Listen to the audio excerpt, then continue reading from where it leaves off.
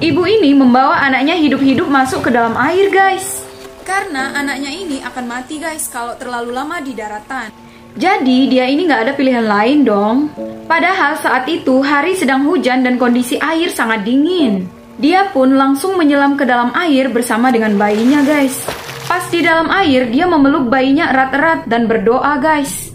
Tiba-tiba saja setelah itu dia merasakan sakit yang sangat luar biasa.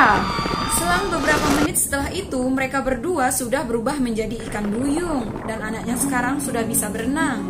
Dan ibunya ini pun sangat bahagia guys karena anaknya tidak jadi meninggoy.